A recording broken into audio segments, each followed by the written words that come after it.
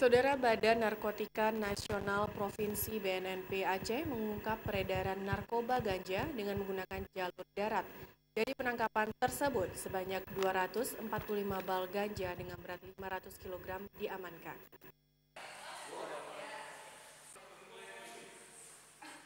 Badan Nasional Narkotika Provinsi BNN Aceh mengungkap peredaran gelap narkoba jenis ganja dengan menggunakan jalur darat. Dari penangkapan tersebut sebanyak 245 bal ganja kering diamankan di Jalan Lingkar Kenire, Kecamatan Pidie, Kabupaten Pidie. Kepala BNNP Aceh, Kombes Armen Sahtai menyebutkan, pengungkapan peredaran ganja ini berawal dari informasi bahwa adanya pengiriman ganja asal Aceh Besar ke Pulau Jawa dengan menggunakan truk.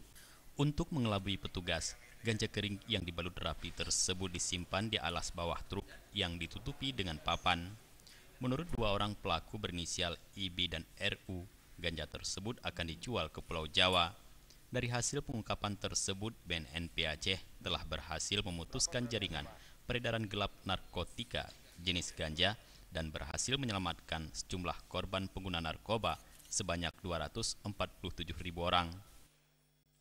Jenis ganja di wilayah Aceh yang akan dibawa ke Jakarta ini semua berkat informasi dari masyarakat. Ya, kebetulan saat itu BNP melakukan operasi. Ya, kebetulan pas di jalan informasi dari masyarakat ada satu truk melintas ke Sigli.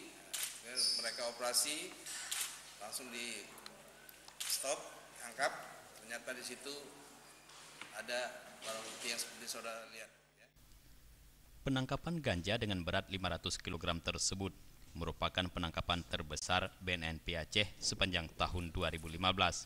Untuk penyidikan lebih lanjut, kedua tersangka masih menjalani proses pemeriksaan atas perbuatan keduanya, pelaku terancam dengan hukuman seumur hidup. Tim Liputan Aceh TV